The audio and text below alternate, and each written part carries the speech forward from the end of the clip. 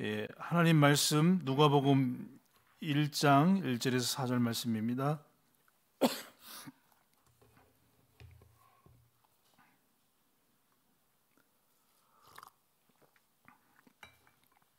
누가복음 1장 1절에서 4절 말씀 우리 한 목소리로 합독하시겠습니다. 우리 중에 이루어진 사실에 대하여 처음부터 목격자와 말씀의 일꾼 된 자들이 전해 준 그대로 내력을 저술하려고 붓을 든 사람이 많은지라 그 모든 일을 근원부터 자세히 미루어 살핀 나도 대별로 각하에게 차례대로 써 보내는 것이 좋은 줄 알았노니 이는 각하가 알고 있는 바를 더 확실하게 하려 함이로라 아멘. 예, 저는 새벽 기도에 이렇게 한 장씩 나가는데 벌써 누가복음 1장을 뭐 이렇게 자세히 하진 않지만 한 장 한장 이렇게 하고 있습니다. 예, 오늘 말씀 읽어드린 본문을 가지고 이루어진 사실, 어, 다시 말하면 어, 예언의 성취라는 말씀을 가지고 어, 잠시 은혜를 나누고자 합니다. 아, 오늘 본문에도 보면 누가가 아, 이게 누가복음이 사도행전하고 이렇게 같이 묶어져 있는 내용입니다. 음, 사도행전하고 누가가 쓴 내용인데 우리 중에 이루어진 사실에 대하여 처음부터 목격자와 말씀에 일금된 자들이 전하여 준 그대로 내력을 저술하려고 붓을 든 사람이 많은지라 그 모든 일을 근원부터 자세히 미루어 살핀 나도 어, 대우별로 각하에게 차례대로 써 보내는 것이 좋은 줄 알았노니 이는 각하가 알고 있는 바를 더 확실하게 하려 함이로라 이렇게 말씀을 어, 하고 있습니다. 이 내용은 어, 여러분이 잘 아는 것처럼 예수 그리스도의 예언 그리고 탄생, 죽으심, 부활하심, 승천하심에 대한 내용을 말해주고 있습니다. 한마디로 말하면 예수 그리스도의 일대기에 대해서 어, 그분의 사역에 대해서 또 그분이 오시기 전부터 구약 시대에 예언되었던 그 내용에 대한 어, 그 어떤 성취된 부분을 말씀하고 있습니다. 서론적으로 우리가 기억해야 될 것이 아, 이제 얼마 남지 않은 2019년 아, 사람의 마음에는 많은 계획이 있어도 오직 여호와의 뜻만이 완전히 서리라 이렇게 어, 원단을 붙잡았는데 어, 저 개인적으로는 두 가지인 것 같아요. 여호와의 뜻, 우리 생각과 마음은 뭐 하루라도 많이 예, 교차하게 되어지고 바뀌게 되어지는데 여호와의 뜻은 제가 생각하기로는 두 가지인 것 같아요. 하나는 아, 그리스도를 통해서 우리를 구원하시는 이 복음 그리고 어, 세계 복음화 전도 이런 부분들이 하나님 뜻이 아닌가 생각이 되어지고 이건 절대 불변의 원칙이거든요. 믿는 자는 생명을 얻고 믿는 자는 하나님의 자녀가 되어지고 믿는 자는 천국 백성이 되어지는 것은 이건 절대적인 것 하나님께만 있는 뜻입니다. 아, 그리고 어, 두 번째로는 그런 것 같아요. 우리가 하나님 앞에서 복음 앞에 어, 세워지는 그러니까 예틀이 새틀로 바뀌어지는 아, 그러니까 복음의 사람 하나님의 사람으로 바뀌어가는 그 과정들을 이렇게 저는 이렇게 오늘 2019년에 그러니까 이렇게 응답을 누린 것 같아요. 그래서 하나님의 뜻은 두 가지입니다. 하나는 원약적인 성취와 우리 개인이 복음의 사람으로 세워져 가는 것이다. 이렇게 생각이 되어집니다. 그래서 저는 사천 말씀 운동 아, 캠프하고 또 개인 다락방도 하고 있고요. 아, 지역 순회 사역도 이렇게 다녀오고 또 237 나라 아, 태국 어, RTS 강의도 다녀오고 전도 캠프 다녀오고 또 매일 이렇게 저 기도하는 선교사님들을 다 기도하고 어, 태국하고 인도네시아를 위해서는 매일 기도합니다. 이렇게 음, 그 중에 우리 선교사님들 위해서 기도하게 됩니다. 이 정도면 뭐 올 한 해 잘 누리고 있는 거 아닙니까? 예. 이 새벽 기도도 계속해서 부흥됐으면 좋겠습니다. 아, 예. 고린도후서 5장 17절에 보면 그런즉 누구든지 그리스도 안에 있으면 새로운 피조물이라 이전 것은 지나갔으니 보라 새 것이 되었도다. 그래서 저 개인적으로도 예틀을 계속해서 바꾸는 예틀이란 말은 신분의 변화도 있지만 이 체질이 우리 체질이 아직 남아 있잖아요. 어, 그것으로 인해서 올 한해 저는 이렇게 집중할 수 있는 시간, 아, 집중할 수 있는 시간, 오직 할 수 있는 시간, 묵상할 수 있는 시간을 가진 것 같아요. 그래서 우리가 집중하지 않으면 어떻게 한다고요? 어, 하나님이 집중을 시켜버립니다. 이제 그때는 좀 힘들어요. 그러니까 알아서 집중하는 게 좋습니다. 메시지를 듣는 분들이 아, 하나님 앞에 우리가 집중할 때 스스로 집중해야지 엄마한테 아빠한테 매 맞으면서 공부하면 힘들잖아요. 그러니까 집중을 평상시에 잘 해야 됩니다. 아, 그리고 어, 그래서 여러분 2019년 잘 마무리하시고 2020년 또 새로운 인생의 절대 목표 어, 그리스도에게 붙잡힌 바 된 삶이 되어지고 또 부활의 권능을 참여하는 그리고 그 힘이 있는 또 표대를 향해서 믿음에 도전하는 그런 축복들이 있길 바랍니다. 자, 첫 번째로 기억해야 될 것이 뭐냐면 우리 중에 이루어진 사실에 대하여 이 말은 어, 성취된 예언입니다. 다시 말하면 예언된 것이 성취됐다. 우리 중에 이루어진 사실에 대해서 이 말은 이미 성취되어졌다는 말이거든요. 하나님의 말씀이 성취되었다. 여러분 잘 아는 것처럼 구약의 이 메시아 구원자라는 이 언약이 아, 창세기 3장 15절 여인의 후손인 그리스도께서 사단의 권세를 꺾으실 것이라고 예언하셨고 그 그리스도가 오셔서 요한에서 3장 8절에 보면 마귀의 일을 멸하셨습니다. 마귀의 일은 하나님에 대해서 불신하고 그리고 예수 그리스도가 우리에게 주신 구원의 축복에 대한 불신 그리고 하나님의 자녀로서 살아가는 삶, 승리의 삶을 방해하는 그리고 하나님 주신 축복을 빼앗, 빼앗기도록 또 그것을 누리지는 못하라고 방해하는 것이 마귀의 일입니다. 아, 마귀의 일 그리고 사망의 세력을 잡은 자 이 마귀의 일을 멸하셨습니다. 그래서 이 출애굽 3장 18절에도 보면 아, 희생 제사 피의 언약 그래서 마가복음 10장 45절에 보면 예수님이 오신 것은 자기의 목숨을 많은 사람의 대속물로 어, 피란 말은 죽음을 상징하잖아요.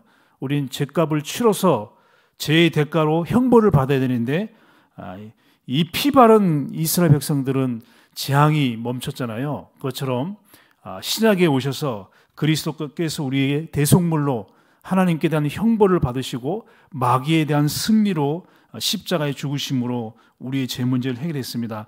구 히브리서 9장 12절에도 보면 염소와 송아지 피로 하지 아니하고 오직 자기 피로 영원한 속죄를 이루사 단번에 성소에 들어가셨느니라. 단번에. 그래서 원죄는 주저할 것도 없어요. 단번에 믿는 순간 끝났습니다. 성소에 들어가셨느니라. 그냥 들어가면 되는 거거든요, 이제는. 예수님께. 뭐 할렐루야도 안 하시는데 단번에 영원히 끝냈습니다. 네. 주저할 것도 없어요. 그냥 믿음으로 가면 됩니다. 네, 마귀는 못 들어가게 하죠. 아니다. 정죄하고 고발하고 송사하고 그러나 우리는 의롭게 담대하게 하나님께 나가면 됩니다. 이게 예언되어 있는 이미 성취되어진 것입니다. 이건 법적으로도 그렇고 말씀적으로도 그렇고 이미 성취된 거기 때문에 이걸 막을 자가 없어요. 단 우리는 믿어야 될 겁니다. 믿어야만 우리에게 주신 축복입니다. 이사야 7장 14절에 보면 보라 처녀가 잉태한 아들을 낳을 것이요 그 이름을 임마누엘 하리라. 다시 말하면 마태복음 1장 21절에 보면 저희 죄에서 구원할 자입니다. 1장 23절에 보면 우리와 함께 하시기 위해서 오셨습니다. 아, 제가 제일 억울한 게 이거거든요. 어렸을 때 신앙생활 했는데 고등학교 때까지 이걸 몰랐어요. 임마누엘은 나와 함께 한다는 사실을 몰랐어요. 이 고등학교 1학년 때도 새벽에도 1년을 다녔는데도 불구하고 이 복음 누리는 기도, 어, 임마누엘 나와 함께 한다는 이 축복을 몰라서 그리스도를 몰라서 많은 방황을 한 것 같습니다. 그래서 고린도 3장 10절에도 보면 너희가 하나님의 성전인 것과 하나님의 성령이 너희 안에 거하시는 것을 알지 못하느냐. 한마디로 말해서 영접하는 자, 곧그 이름을 믿는 자들에게는 하나님의 자녀가 되는 권세를 주셨다. 예언된 성취란 말이 무슨 말입니까? 그분이 오셔서 마태복음 16장에 말씀하신 것처럼 그리스도시요 선지자, 제사장, 왕. 그리스도는 여러분 잘 아는 것처럼 기름 부은 자잖아요. 메시아란 말이 기름 부어서 구약 시대에 선지자, 제사장, 왕에게는 기름 부으셔서 아, 그를 세웠잖아요. 뭐 우리 대통령 취임식 할 때처럼 취임식 하는 것처럼 이 선지자, 제사장, 왕이 될 때는 기름을 부었잖아요. 근데 그 사람들은 그냥 선지자였지만 참 선지자, 참 제사장, 참 왕으로 오셔서 하나님 만나는 길을 여시고 우리의 죄 문제를 십자가에서 단번에 영원히 끝내시고 사단의 권세를 꺾으신 왕 대신 그리스도 그 그리스도를 고백하고 믿는 순간 우리에게는 반석이라 음부의 권세가 이지 못하리라 천국 열쇠를 우리에게 주리라 그랬었거든요. 그래서 우리는 그리스도를 묵상할 때마다 그리스도를 믿을 때마다 눈에 보이지 않는 재앙과 저주와 사단의 권세가 물러가게 되어 있습니다. 이게 우리에게 주신 예언 이미 사실적으로 이루어진 사실입니다. 우리가 그 당시에 살진 않았지만 2000년 전에 이미 예수님께서 그 일을 성취하셨습니다. 지금도 그것이 성취되고 있습니다. 그래서 요한복음 19장 30절에도 보면 다 이루었도다. 그리고 그분이 사도행 1장 9절에 보니까 승천하시고 다시 오신다. 사도행전 2장 1절 오순절 날이 이미 이름에 그거를 요한복음 14장 20절에 보면 예수님이 십자가 지시기 전에 뭐라고 얘기하냐면 요한복음 14장 20절에 보니까 그날에는 내가 아버지 안에 너희가 내 안에 내가 너희 안에 있는 것을 너희가 알리라. 다시 얘기합니다. 그날에는 이 오순절날 이제 예수님이 어, 뭐 하나님이신 성령님이 오시지만 이 삼일체이신 예수님이 그날에 내가 아버지 안에 너희가 내 안에 내가 너희 안에 있는 것을 알리라. 안 헷갈리죠? 예, 정신 바짝 차리시고 그날에 너희가 내 안에 내가 아버지 안에 이렇게 얘기하잖아요. 그 알리라 얘기하잖아요. 그 말이 무슨 말입니까? 예수님이 승천하셨는데 또 그날에 너희가 내 안에 있다고 얘기를 하시는데 성삼위 하나님이 우리 안에 계십니다.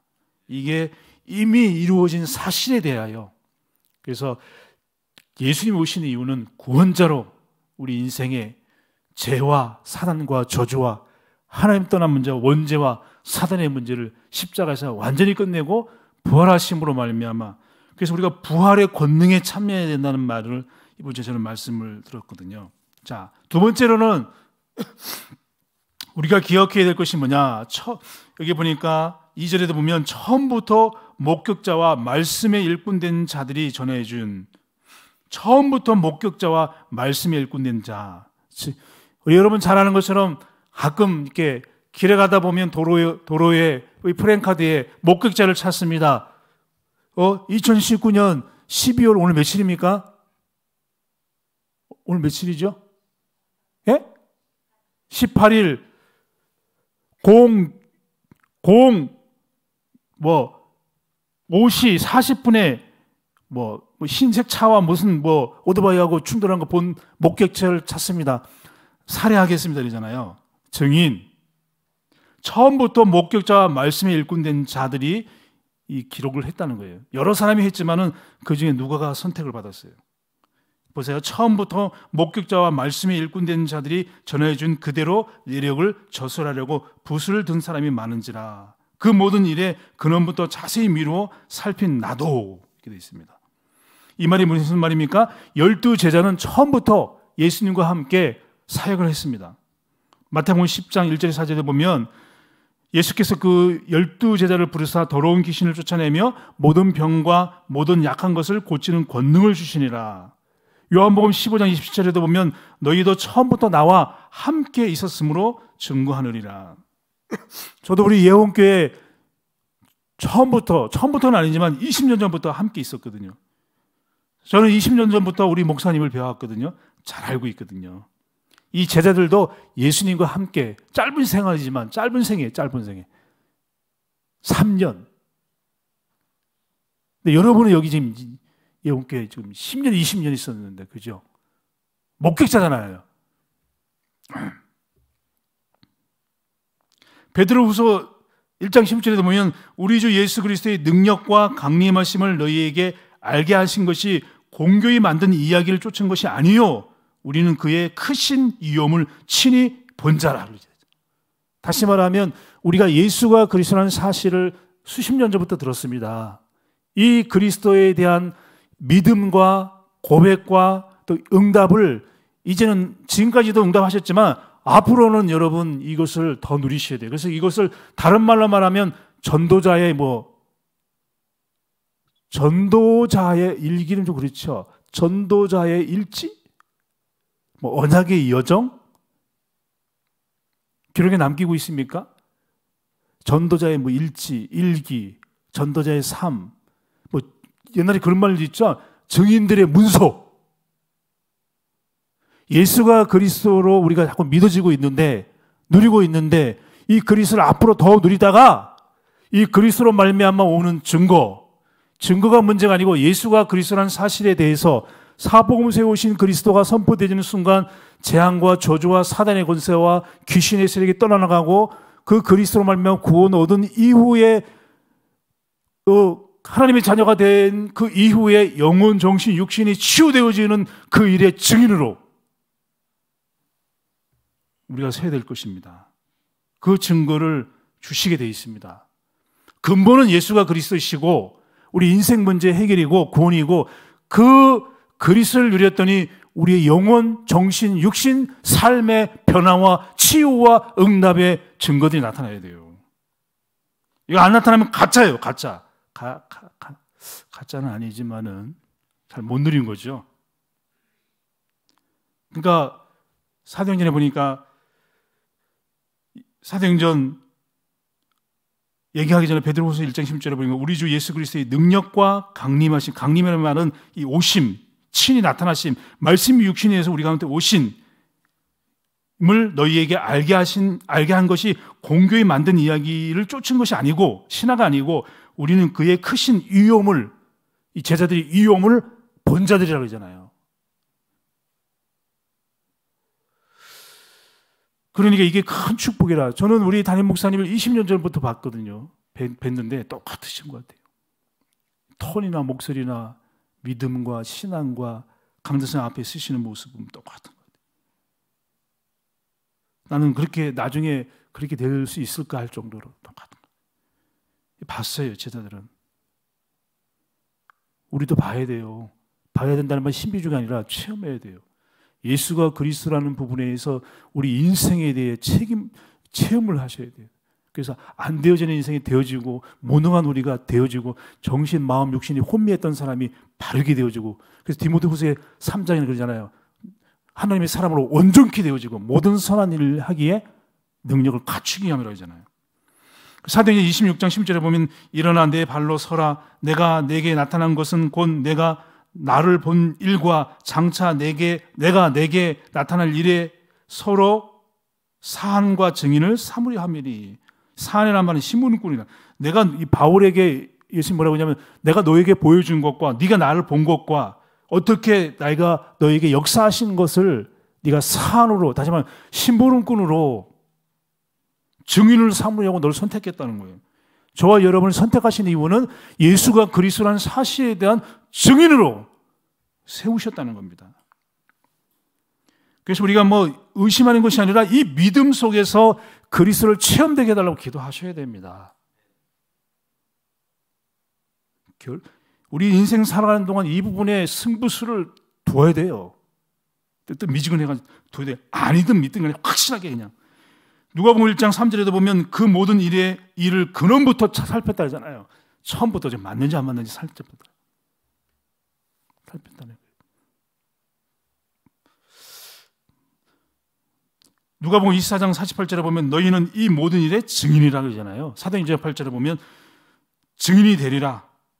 사도행전 4장, 4장 20절에 보면 우리는 보고 들은 것을 말하지 아니할 수 없나니 우리에게 확증한 바라 이렇게 얘기하잖아요. 예수가 그리스도라는 사실에 대해서 우리가 더 많이 봐야 되고 이번 주 말씀처럼 그리스도를 얻고 그 안에서 발견되어지고 쫓아가는 이유는 그 예수 그리스도께서 우리 인생의 근본 문제부터 처음부터 과정까지 결론까지 모든 문제 해결이라는 사실에 대한 증인으로 우리를 세우시기를 원하고 계신 것입니다. 히브리서 2장 3절 말씀처럼 우리가 이같이 큰 구원을 등한히 여기면 어찌 피하리요? 이 구원을 구원은 처음에 처음에 주로 말씀하신 바요. 우리는 들은 바라를 얘기하고 있습니다. 그래서 처음부터 목격자와 말씀의 일꾼된 자 우리가 더 복음의 축복을 누려야 될줄 믿습니다. 우리가 더 예수가 그리스도는 사실을 더 누림으로 말미암아 우리에게 남겨져 있는 여러분 약을 바르면 상처난 것이 아물기 시작합니다. 예수가 그리스도는 사실이 날마다 발견되어지면 그것 때문에 그런 것이 아니라 예수가 그리스도는 사실이 발견되어지고 우리의 신부가 권세가 누려지면 영혼, 정신, 육신에 있는 우리의 삶의 부분들이 치유가 되어지고 눈에 보이지 않는 재앙과 저주와 사단의 권세가 물러가게 되어 있습니다. 반드시 치유되어지게 되어 있습니다. 반드시 회복되어지게 되어 있습니다. 온전한 사람으로 세워지게 되어 있습니다. 결론으로 말하면 언약의 여정, 증인들의 문서, 전도자의 일기 남게 될 줄 믿습니다. 증거가 따라오게 돼 있고 우리 집에 있는 전 증거 말고요. 믿음의 증거. 간증 응답이 그래서 그리스 이름으로 기도해 보세요. 흑암과 성령의 역사와 천사가 동원되어 있고 사도행전 3장 6절에 보면 금과 은은 내게 없지만 나사렛 예수 그리스도 이름으로 걸어라. 우리가 전도 현장 속에서 앞으로 살아 지금까지도 말했지만 앞으로 살아가면서 그리스도 이름을 증거할 때 어떤 일들이 벌어지는지 안 벌어진다 할때도 그리스도이지만 그 그리스도 이름이 선포될 때 재앙과 저주와 사단의 권세가 무너지는 것을 체험하시길 바랍니다. 내 이름으로 무엇이든지 구하면 시행하려고 말씀하셨기 때문에 이거는 제가 주는 것이 아니고 그리스도께서 여러분에게 또 저에게 이런 증거를 주실 줄 믿습니다.